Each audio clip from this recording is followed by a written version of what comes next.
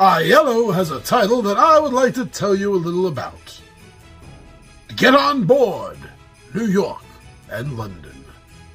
This is for 2 to 5 players ages 8 and up, and should take about 30 minutes to run. Ah, here's the bus. Hurry, grab a seat, and get out of the rain.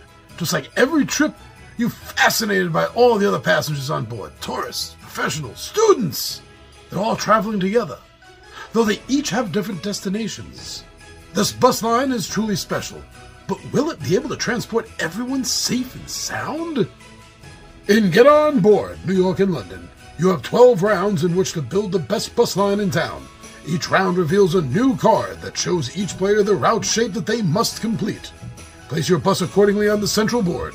Take the passengers where they want to go by connecting them and their destinations to your bus line. Avoid traffic and gain as many victory points as possible. Hmm.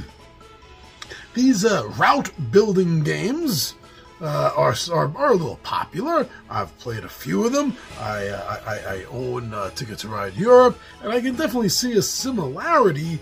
Uh, a similarity here. Now this this uh, has a nice, from what I can read, what I can see, what I can tell so far, this has a nice blending of sort of like X and write, you know, roll and write or flip and write, X and write games, meaning a, a, classic, a much more classic style board game. This seems to be a melding of the two systems from what I can see, uh, because most flip games don't have a hard static board. Uh, but yeah, so so I, I think I like this. I think I like seeing that this is kind of blended like that. Now, just looking at it, it's easy to see that the, the, the components in this game are thematically awesome, absolutely amazing. Everything about these things just uh, really, really make you think about taking a bus ride, uh, right down to the tickets. It looks great, it feels great, and uh, you know when components are that nice and that good, uh, it does help pull you into the game. Now there are very simple components too, like the, uh, the, the creating the bus lines, just very simple uh, little well, basically sticks. But, you know, it, it's a nice balance between what's uh, necessary to pull you into the theme and what you just need to represent something. And it does it nice. I do like these components.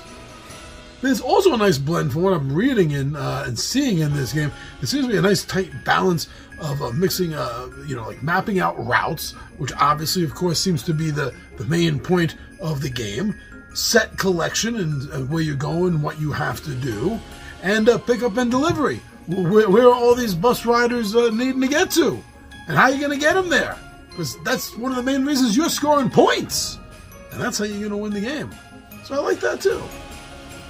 Now, I can obviously see from everything that I've read and, and actually physically seen uh, of this game that this definitely has a huge, friendly, uh, family vibe to it which is really good, uh, giving both strategy and a sort of simplicity uh, to the rules. But also, it seems to me, I wouldn't be surprised if this could turn out to be a bit of a gateway game for other route style games that are out there. I, I feel like it might just, you know, work that job also as well as letting you know that if you're having fun at this, there's others like this. Yeah, so I think it's a nice gateway game, I bet. This also seems to be the kind of game that you can call a buy and play. Kind of game where you buy it and you can set it up on the table, get through the rules in a moment or two, uh, let everyone understand how the game runs, and be able to play the game in a moment. Literally buy it, open it, and play it. And that's that's a that's a huge thing, I think. There are way too many games out there that are, that are so complicated they need two or more rule books. You know, they're nice from time to time, but sometimes you just want a game that you can just open up and play.